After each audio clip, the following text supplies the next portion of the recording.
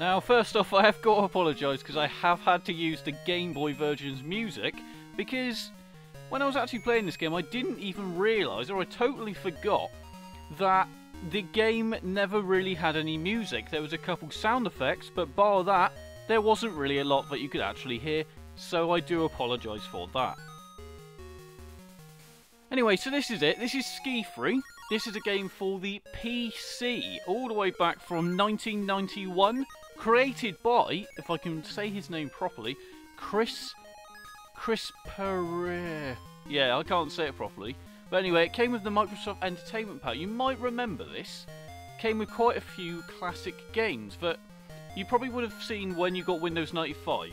Let's say that. So Ski Free is literally it's a ski game where you have to avoid well, you can basically go down a slalom, which you all know what a slalom is, or you just go down the freestyle so you can do some tricks.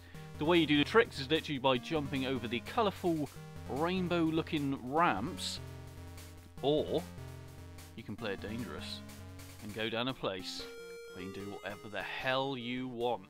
Now, the aim of the game primarily is to pull off some sick moves as well as getting as far as you can.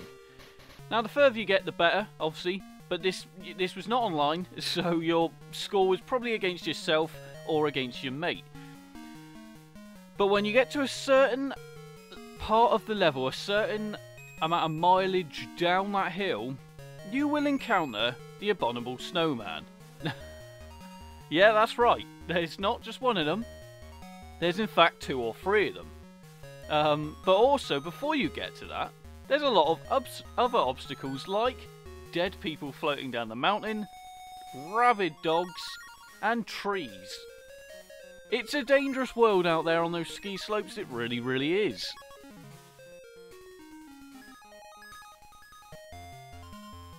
I gotta say, I've had some fun replaying this. It's uh, it really is a blast from the past. I just I do remember playing this in the early 90s on a PC, probably the first home PC we ever had, and it was great. It's so, so addictive. The problem is, I've always found it's virtually impossible to get away from that bloody abominable snowman. He just, he will get you every time. Um, unless you're really, really good. Now, obviously, there are two sets of speed here. You can flick between slow when you're going down the real, real touching cloth type areas, if you know what I mean real, real close encounters with objects. Or you can switch it up and put it onto maximum. Now, when you go onto maximum, it's, uh, yeah, it's hard. I'm not going to lie, it's not very, very simple at all. And the aim of the game is to get down as quick, well, not as quick, really, because that's a lie. It's more like the best style, the best flair, but then eventually, when you do see the monster, crack up the heat and just go full pelt because you know he's he's right behind you and there's not just one of them, there's two of them. One of them comes from the top, one of them comes from the bottom. And I've, I've never, ever got past them. Or not, not that I remember anyway.